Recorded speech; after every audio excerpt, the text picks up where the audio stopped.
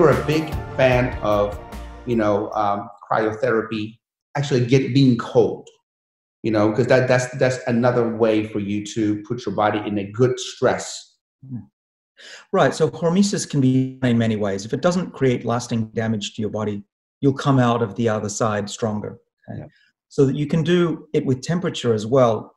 Now, there, there hasn't been perfect con, uh, controlled experiments about whether this really will make you live longer, right? That's that will take a long time.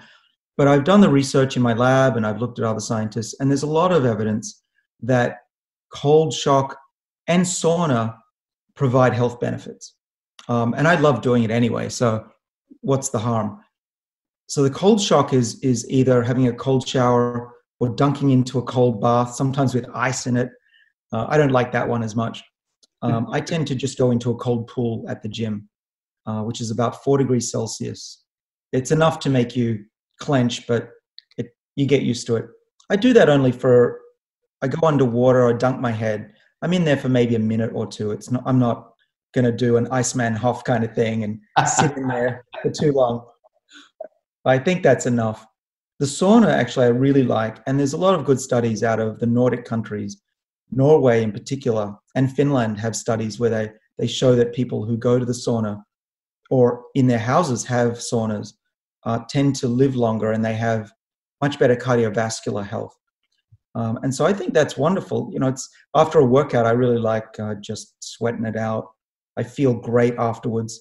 After that ice bath, I come out feeling invigorated.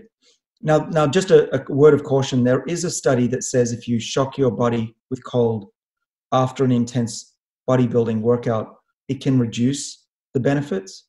And I'm still trying to figure out exactly what that means. Um, but because I, the, the weights and the cold bath are in the same facility, uh, it's not like I can just go home and come back another day. So I do it all on the same day. Um, yeah, but that's all I can say. That I'm still doing it until it, I'm totally convinced that it's not worth doing.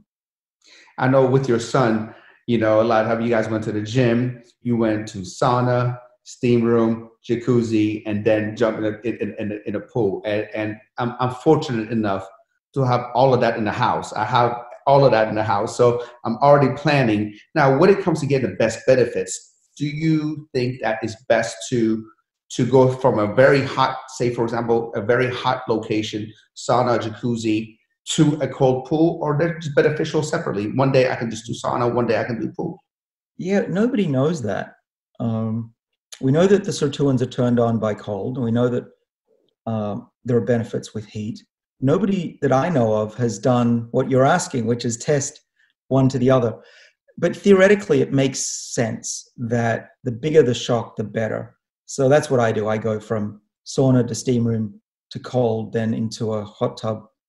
And I think that's most likely to give me the benefits because you, you want to get your body out of its state of complacency. Um, the modern world around us is built so that we don't feel any discomfort the chairs are comfy, the lounges are comfy. We get in cars, even our our luggage has wheels now. Right? Can life get any easier? Seriously, we never have to go hungry usually. And so our bodies are like, yeah, times are good. We don't need to fight back.